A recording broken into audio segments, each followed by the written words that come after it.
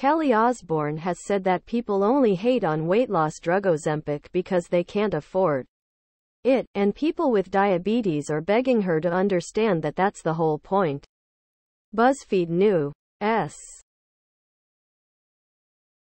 Kelly's controversial comments come just one month after she said that she has learned when to shut up and stop talking. View entire post. Below are your comments. I've never looked into how much Ozempic costs because it isn't a healthy way to lose weight. Without real changes. Not drug-induced changes but real lifestyle changes.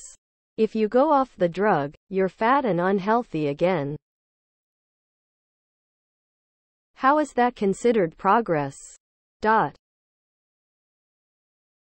My wish is whoever takes Ozempic for weight loss and who is not a diabetic gets caught in a traffic jam with the trots and has an sneezing fit at the same time.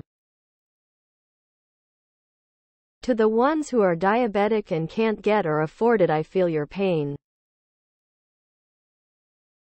I had to switch because it wasn't available. And it really helped.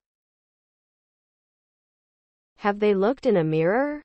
There will be severe consequences for taking these drugs at some point. Doesn't look good even after weight loss.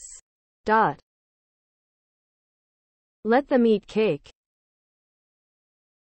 Every time she opens her mouth I dislike her more. Please subscribe to my channel. And if you like it, please thumbs up.